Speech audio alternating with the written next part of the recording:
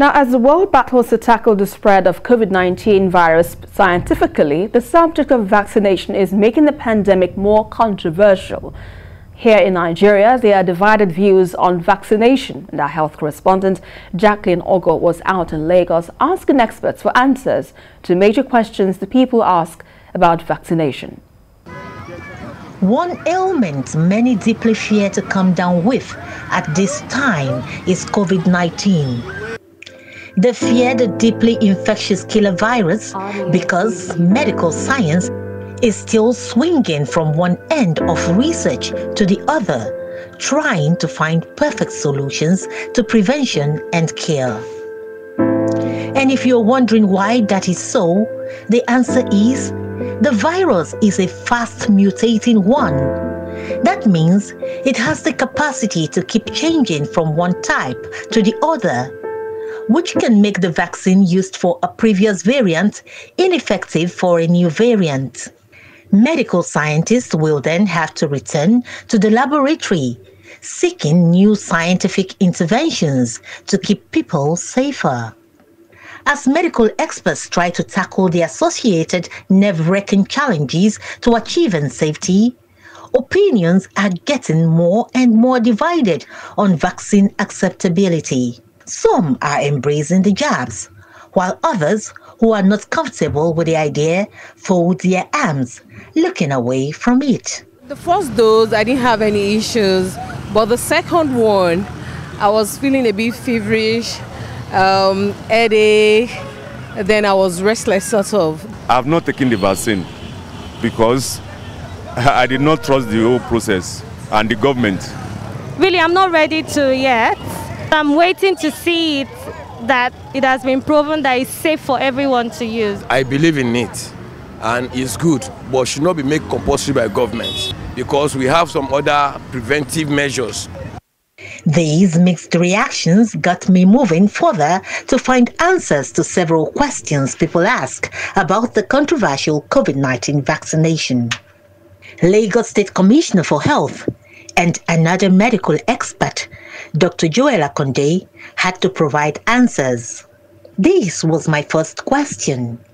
Why do people fall ill after taking the jabs? Yeah, you fall sick because anything that is foreign to your body will cause you to be unwell.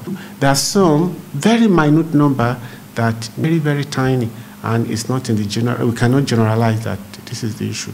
The next question was, why do some people die after taking the second jab.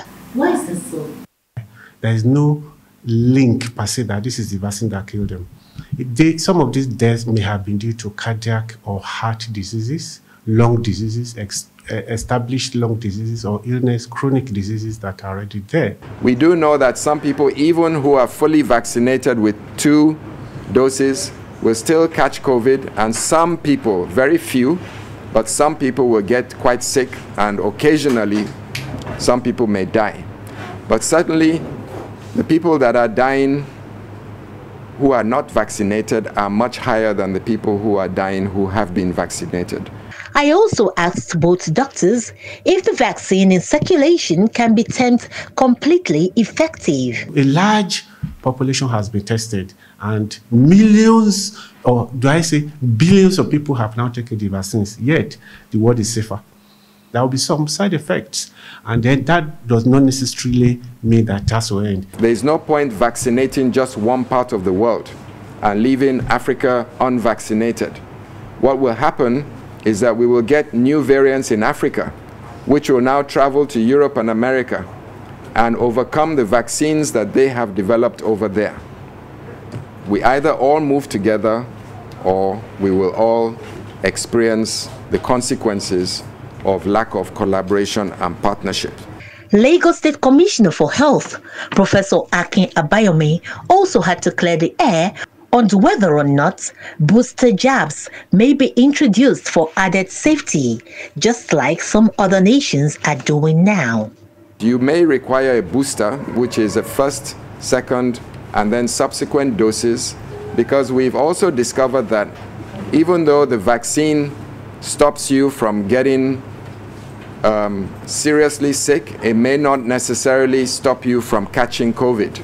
And as I tried to bow out of my investigation, I sought to know if governments and organizations making the vaccine compulsory are on the right track. Some people who have COVID 19 and come to work.